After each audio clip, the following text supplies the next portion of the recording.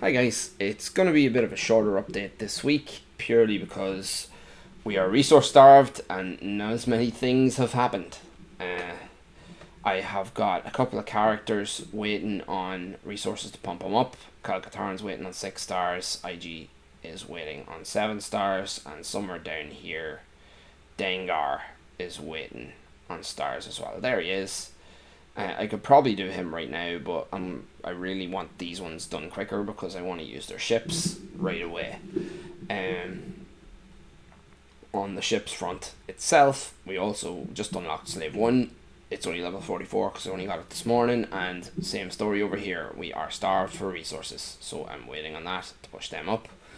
Uh, all going well, we will have TIE Bomber in the next 24 hours. Knowing me, just because I said that now, no shards are going to drop when I farm that node tonight. Uh, that's kind of how things work. Um, in terms of shop stuff, we're doing okay.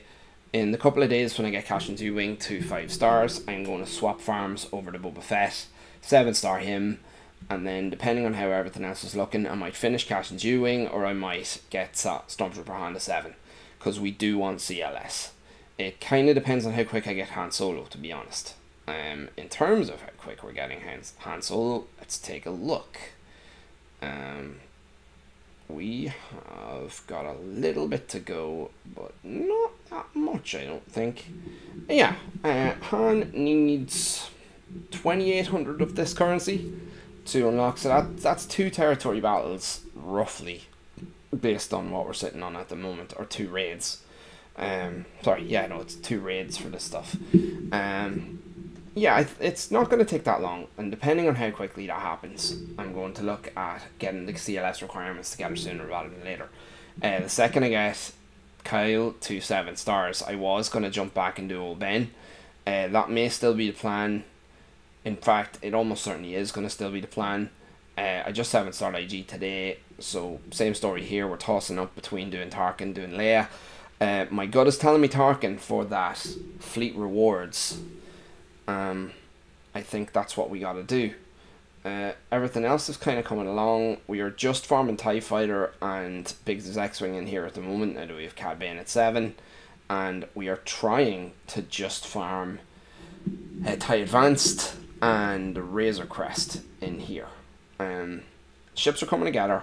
I still don't think I'm going to make that level 78 Tarkin mission just because I don't think I'm going to have enough 5 star dark, dark side ships by then. Um, but, like, my first aid is going to be the Vader one. We know this already, and that's not usable until 84 anyway. So I feel like even if I'm a day or two behind, or even a week behind on that, it's something I'm going to make up pretty quickly, and it shouldn't hold me back too much in the long run. Um, but yeah, we're going to stay the course. I, I fell down a little bit in arena because I was targeted once I climbed to make that video to prove that Raddus can climb. And uh, the same thing kind of happened a little bit in Fleet Arena. We have them both back in the range that I kind of want to be at the moment.